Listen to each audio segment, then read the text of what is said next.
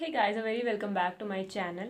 So I will be telling you a list of books और a list of study material जिसको आप पढ़ के पास होना गारंटी कर सकते हैं। अब आप बोलेंगे कि ठीक है अगर हम गारंटी कर सकते हैं तो आप क्यों नहीं पास हुई या फिर आपने सिलेक्शन क्यों नहीं दिया?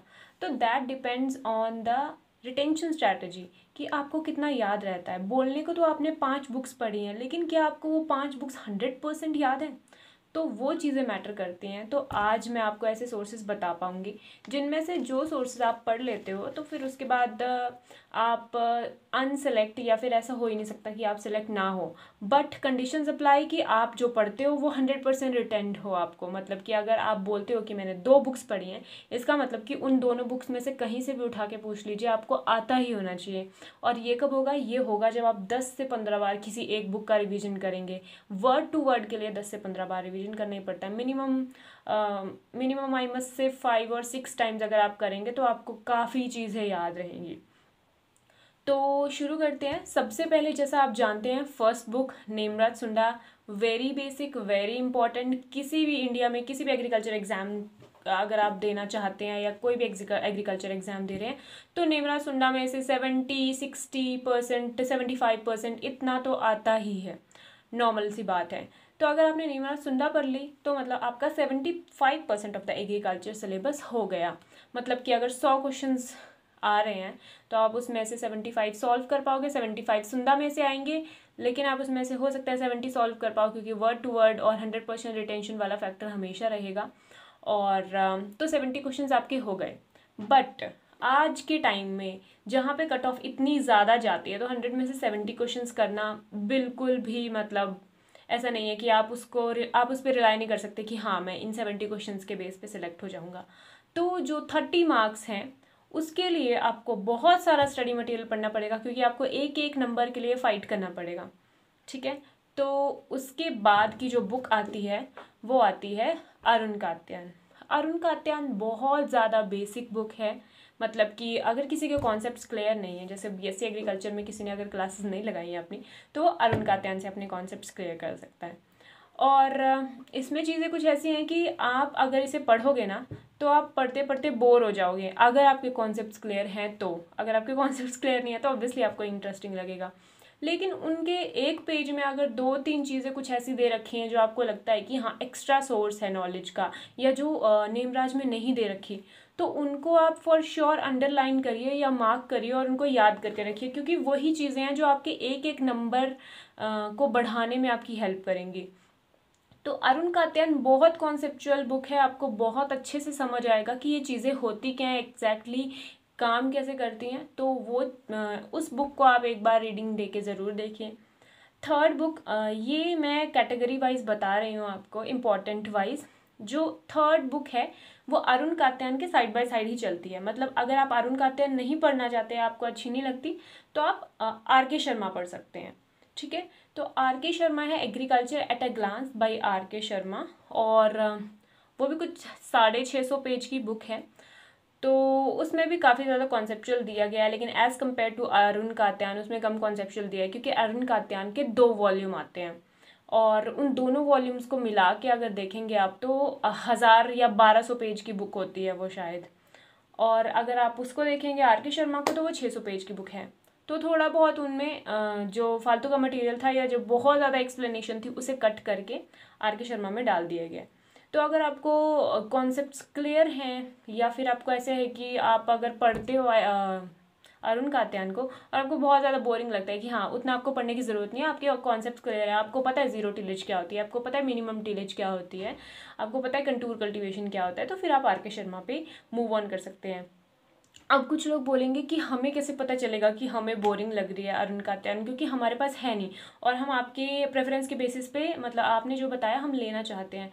तो जब हम ले लेंगे एक बार तो बोरिंग हो या अच्छी पढ़नी तो पड़ेगी। तो इसका बेस्ट सॉल्यूशन ये है कि आप फ्लिपकार्ट से बुक मंगाइए या किसी भी ऑनलाइन उससे बुक मंगवाइए। उसकी पंद्रह दिन की रिटर्न गारंटी रहती है, पंद्रह दिन की या हफ़्ते की तो मिनिमम होगी। आप उसे देखिए, आप उसे एक दो दिन पढ़िए। अगर आपको लगता है कि आपके कॉन्सेप्चुअल नॉलेज उससे ज़्यादा है तो आप उसे रिटर्न कर दीजिए, आर के शर्मा ले लीजिए। तो ये बहुत ज़्यादा यूज़फुल रहता है हैक और इसे आप पढ़ के देख मतलब इसे आप यूज़ करके देख भी सकते हैं।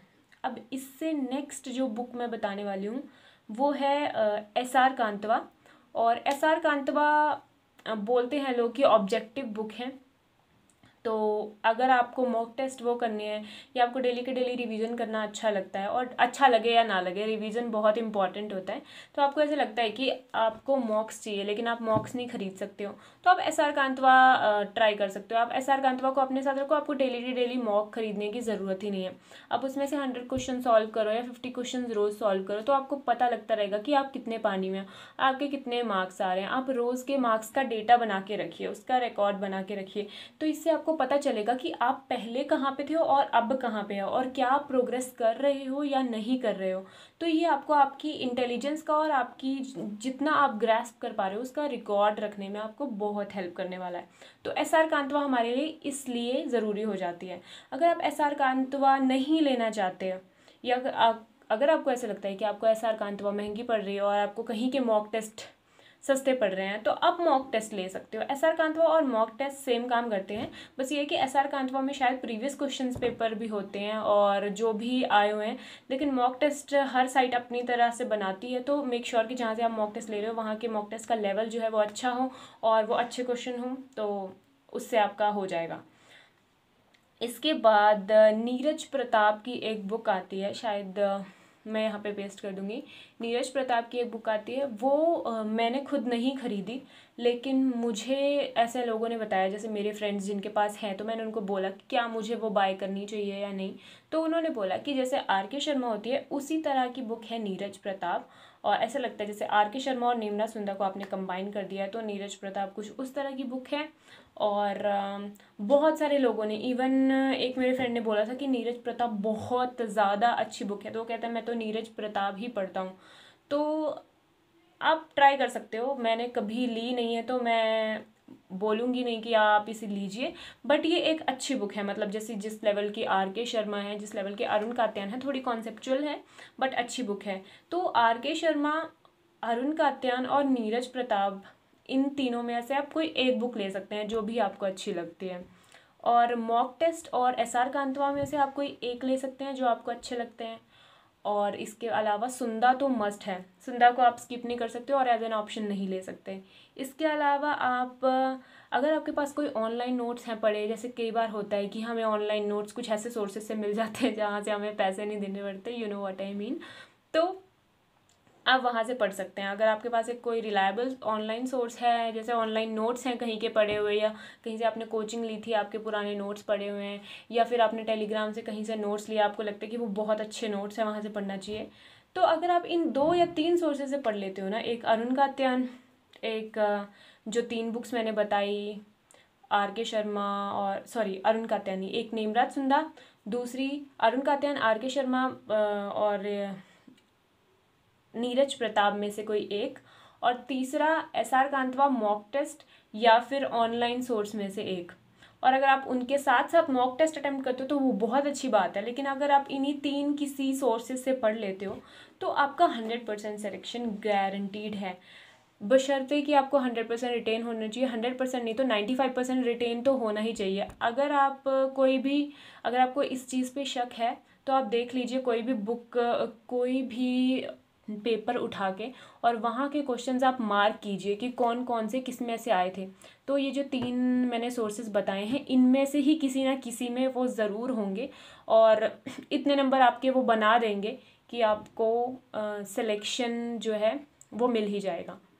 तो ये कुछ ये कुछ बातें थी। इसके अलावा एक बहुत ज़्यादा क्वेरी अब आपको ये आएगी कि हंड्रेड परसेंट रिटेन कैसे किया जाए?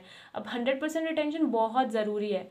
और हंड्रेड परसेंट नहीं तो नाइन्टी फाइव परसेंट तो ज़रूरी है। और बहुत लोग ऐसे करते हैं कि बहुत सारे मटेरियल से पढ़ते हैं और उन्हें याद कुछ नहीं रहता। या फिर कुछ लोग कम मटेरियल से भी पढ़ते हैं, उनकी शिकायत रहती है कि हमें याद नहीं रहता कुछ भी। इवन मैं भी यही कंप्लेन करती हूँ but there are things which you can do to improve your retention capability और इम्प्रूव योर लर्निंग कैपेसिटी और ये वीडियो मैं बहुत जल्द लेके आऊँगी। मुझे पता है, मैं थोड़ा सा लेट हो गई वीडियो लाने में बट अब रेगुलर वीडियोज़ आती रहेंगी, साथ ही साथ मेरे स्टडी ब्लॉग्स आते रहेंगे। So stay tuned for more. I'll meet you in the next video. Till then, bye bye.